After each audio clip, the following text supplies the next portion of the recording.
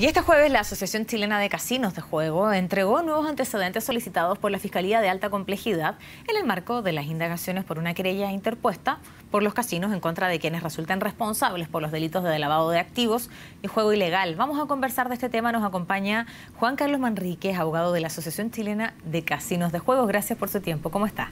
Bien, muchas gracias a usted, Macarena. Gracias bueno, en primer lugar, cuéntenos eh, qué antecedentes entregaron y en qué va precisamente la arista judicial del caso. Eh, nosotros hace aproximadamente tres semanas presentamos una querella por los delitos de lavado de activos, crimen organizado y a su vez también para perseguir la responsabilidad penal de la persona jurídica en aquellos casos en que hay indicios serios que se está abusando como una verdadera fachada de una serie de formas contractuales como sociedades anónimas, sociedades de responsabilidad limitada, por acciones e incluso de asociaciones gremiales para encubrir una actividad ilegal que para este efecto, eh, y muy clara y sencillamente, consiste en recibir y pagar apuestas en máquinas de supuesta destreza, pero que en verdad incurren en un ilícito, sin contar con licencia o concesión para ese efecto, que es lo que establece la ley, el sistema constitucional, y en definitiva se ha estructurado un verdadero sistema organizado para burlar estas prohibiciones producir un efecto en cascada y lograr una ventaja por infracción, reitero, utilizando las fachadas de una supuesta industria del entretenimiento popular para en verdad cometer una serie de ilícitos que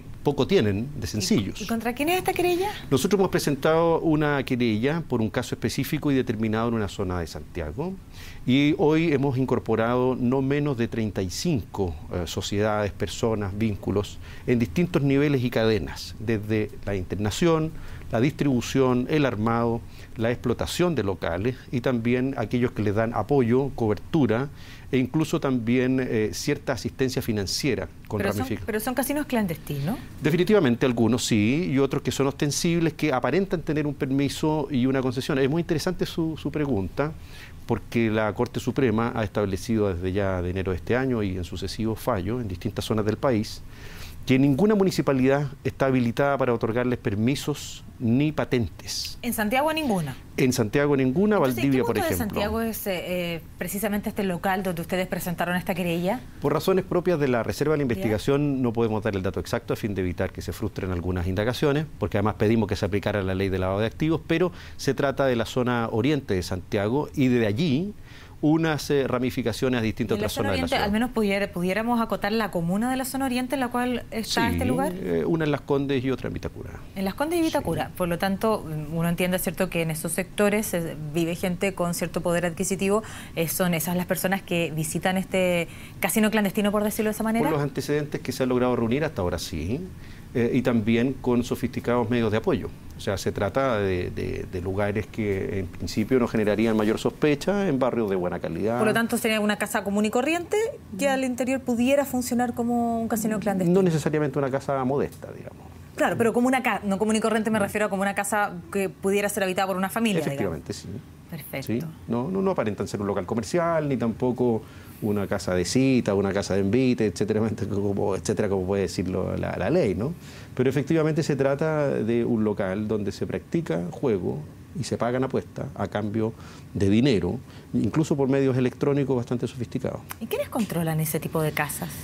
Ese es el problema. Lo que ocurre es que los casinos legales en Chile están sujetos a enormes restricciones y prohibiciones a través de la ley, la superintendencia de casinos, las municipalidades respectivas. En cambio, este negocio que se mantiene al margen explota a la ley como negocio, no los vacíos de la ley, sino que mantenerse al margen de la ley y aparentar formas legales con compartimento de tareas, con mantención en el tiempo, con a su vez apoyo y labores específicas, lo que efectivamente a nosotros nos lleva a pensar de que por sus nexos nacionales e internacionales constituyen formas de criminalidad organizada, de carácter financiero y particularmente eh, de base, por ejemplo, como puede ser la evasión impositiva, dentro de otras, y también el juego ilegal, lo que compromete la responsabilidad de estas formas jurídicas que utilizan, reitero, como fachada para intentar aparentar que se trata de negocios legales o entretenimientos pseudo populares, pero que en verdad se trata simplemente de un comercio ilegal.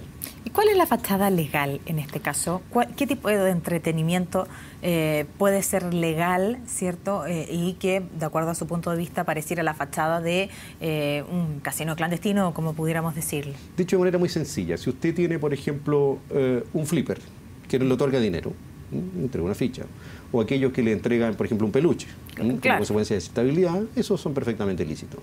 Pero si usted tiene una patente que aparenta decir juegos electrónicos, incluso de juego programado, si usted aparenta decir que tiene, por ejemplo, ciertas habilidades o destrezas, y en verdad ese mecanismo recibe una apuesta en dinero y paga una apuesta en dinero, y a veces más allá de los márgenes que la propia ley establece debe pagar, por ejemplo, un casino legal.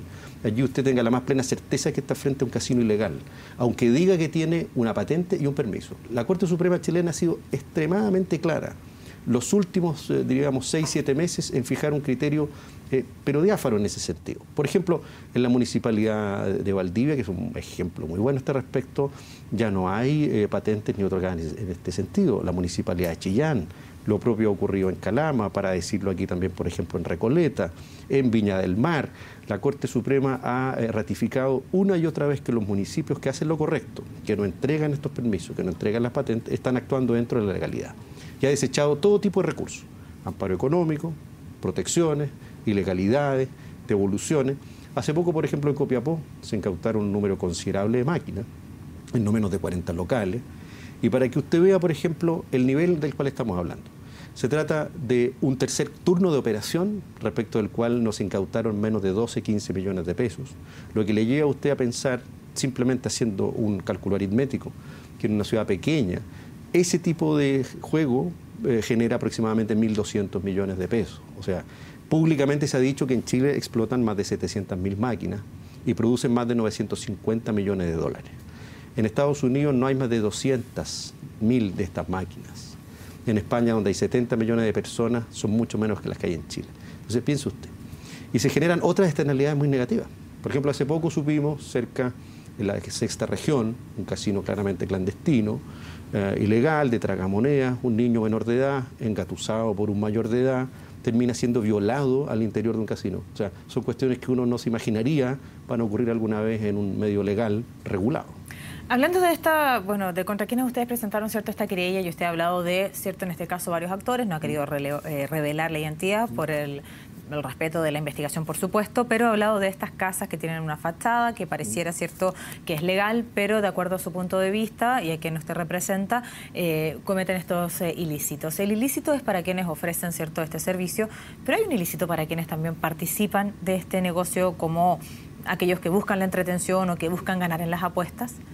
No, el cliente en nuestro sistema no comete delito. En el sistema regulado, eh, si por ejemplo el cliente pretende engañar al sistema de juego, pretende saltarse las reglas. No, pero si el cliente ah. ingresa a una casa que es ilegal, él no comete ningún ilícito. No, no, no, en principio no, porque en el fondo se entiende también es eh, una... Él también fue engañado.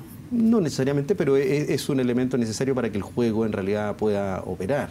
Ahí la sanción y el reproche queda dirigido específicamente a los organizadores, a los financistas y a los que otorgan los distintos eh, componentes de la operación de estas casas. Usted representa la Asociación Chilena de Casinos de Juego, ¿cierto? Eh, no operan en Santiago, sabemos, sabemos bien, ¿cierto? Eh, y el más cerca de la región metropolitana está distante 40 minutos aproximadamente pero ya, ¿cierto? Una vez ingresados a la región de Valparaíso, sabemos, ahí, ¿cierto? En, San Felipe de los Andes. Mm. Eh, este tipo de casas que están en el sector mm. oriente, que uno pudiera, ¿cierto?, inferir que este tipo de personas mm. son las que pueden trasladarse también, ¿cierto?, a estos casinos que están a 40 minutos de acá, o al sur, o hacia la región de Valparaíso, ¿le restan clientes a precisamente aquellas personas que van a los casinos legales? ¿O son públicos distintos? No, hay tres niveles de, de análisis sobre eso. Hay quienes han dicho en definitiva que aquí lo único que buscan los casinos legales es eh, llevarse la totalidad del negocio y evitar una competencia de aquellos que objetivamente no pueden ingresar a los casinos. Eso no es cierto, por una razón muy sencilla, porque resulta que en primer lugar lo que se protege aquí es un diseño constitucional y legal. Quien va a instalar un casino legal debe hacer enormes inversiones, tiene que postular a una licitación internacional para obtener una licencia, tiene que negociar con un municipio que tiene un casino originario y obtener la concesión, tiene que celebrar una serie de contratos anexos de operación, de entretenimiento, etcétera. Son inversiones millonarias. En consecuencia, el, el juego por regla general en Chile está prohibido y la Constitución y la ley lo permiten en ciertos casos. Eso se llama una causal de justificación. Y para poder tenerla, además, hay que obtener estas autorizaciones estatales y hacer esto de enorme esfuerzo. Quien no hace eso, se salta esa regulación, comete una ventaja por infracción y produce un efecto en cascada porque el que está al lado dice si este lo hizo y nadie me dice nada, ¿por qué no lo voy a hacer? Y si es tan buen negocio. Hay quienes señalan que incluso pueden lograr hasta 300, 500 mil pesos diarios por máquina, ¿verdad? incluso en lugares que no tienen nada de, digamos, de juego popular en definitiva. Si eso es así, usted lo multiplica por 700 mil. Efectivamente, el daño que hay, en primer lugar, sobre el orden económico en general es significativo. En segundo lugar, el mantenerse alejado de las posibilidades de regular el juego, la adicción, la ludopatía, la seguridad, el ingreso de niños a estos locales, que está prohibido en los eh, lugares, como se llama?, regulados. Y por último, efectivamente, la merma directa de interés patrimonial de los casinos es evidente. Nosotros hace poco acabamos de medir, y estamos validándolo, en alguna zona en la que se cerraron varias salas, el efecto que produjo sobre los ingresos del operador más cercano el que no menos de 40 eh, o 45 salas estuvieran cerradas un par de días, porque es un efecto notorio. Si usted lo multiplica a nivel nacional, eh, evidentemente allí eh, eso no se explica solo con un pseudo intento de regularización o incluso, digamos, por la vía tributaria. Las causales de infracción y de externalidades negativas son mucho mayores que esas. Gracias por habernos acompañado esta tarde, abogado. Por supuesto, vamos a seguir de cerca también el trámite que se está llevando adelante la justicia. Que esté bien. Muchas gracias, a ustedes también.